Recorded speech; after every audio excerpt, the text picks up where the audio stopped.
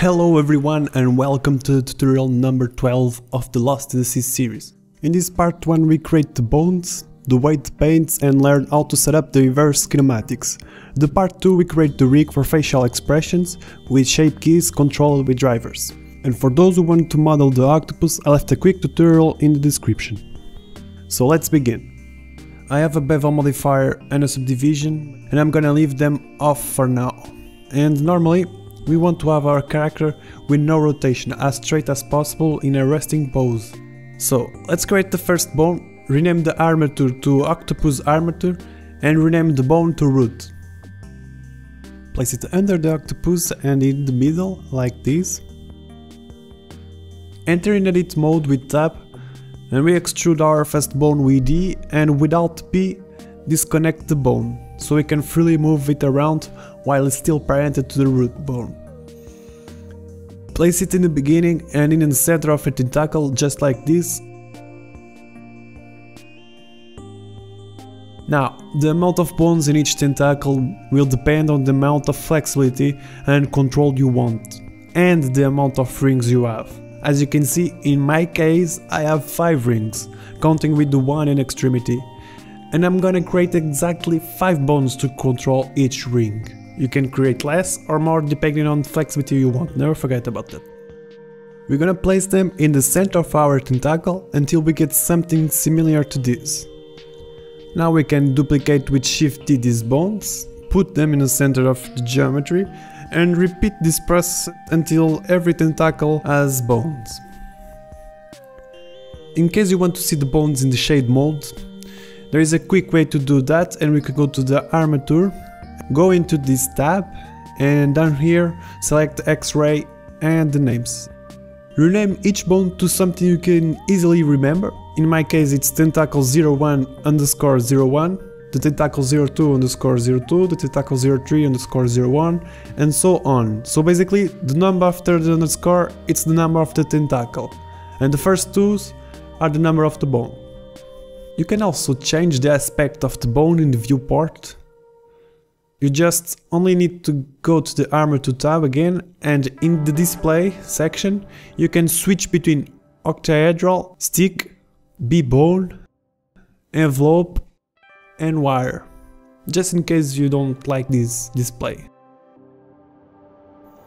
After you have created every bone for every tentacle, we create one for the neck and two for the head. In edit mode, let's extrude with E in the Z axis and press Alt P to disconnect the bone and place it around here. Also create the bones for the head and rename them to something like the neck, head 01 and head 02. From this bone we extrude another one. Disconnect it with Alt P and place it in this position near this eye and rename it to the right eye. Duplicate it and move it to the other eye and rename it to the left eye.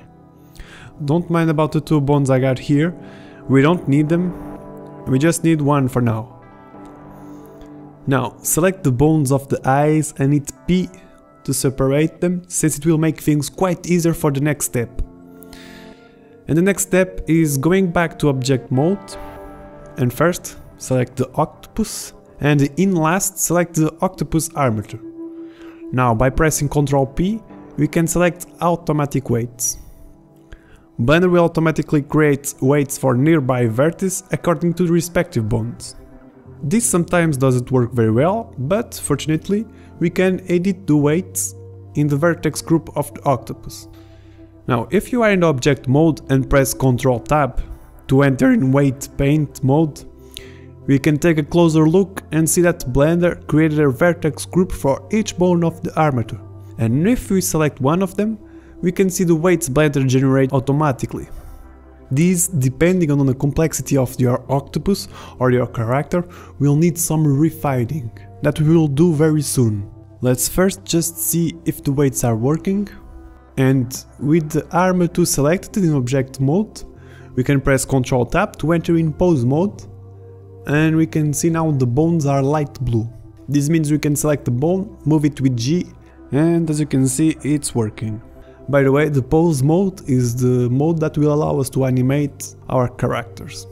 If you have messed around too much and want to reset the position or the rotation, you simply select every bone with A, press Alt G to reset position or Alt R to reset rotation.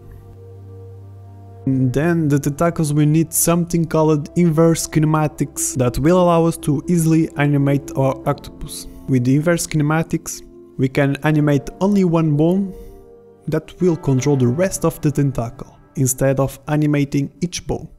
This is easier than it sounds, so let's go to this tentacle and in edit mode, select the tip, we extrude with E like this, press Alt P and select clear parent.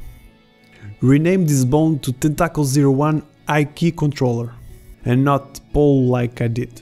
Now in pose mode, and what we need is to select this IK control and then in last select the bone.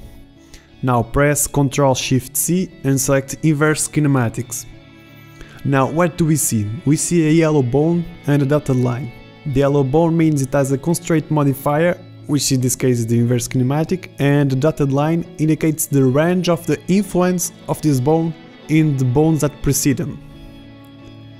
And if we press this tab with the icon of a bone and a chain, we can see the IK modifier and we can also see that has already a target which is the octopus armature and the bone that holds the IK which is the tentacle 01 IK controller.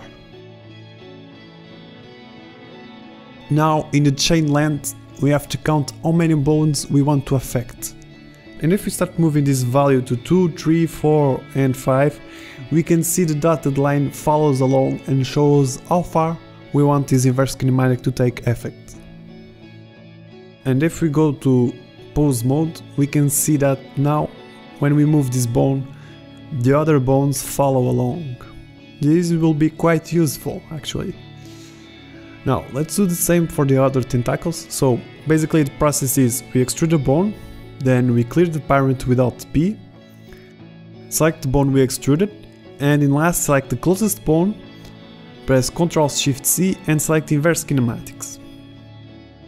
In the Inverse Kinematic constraint, the chain length will be equal to the number of bones you want to affect, and that's it for these tentacles. They are pretty much ready to animate.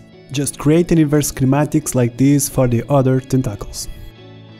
So that with Octopus selected, now we can refine the weight paint and see how we want the bone to affect the geometry.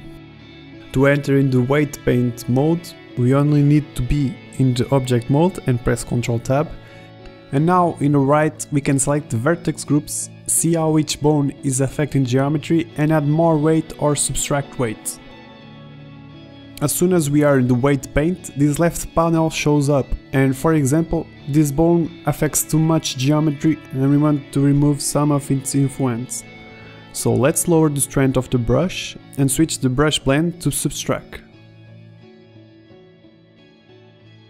You can press this icon so we don't affect the geometry behind and only paint the geometry in the front.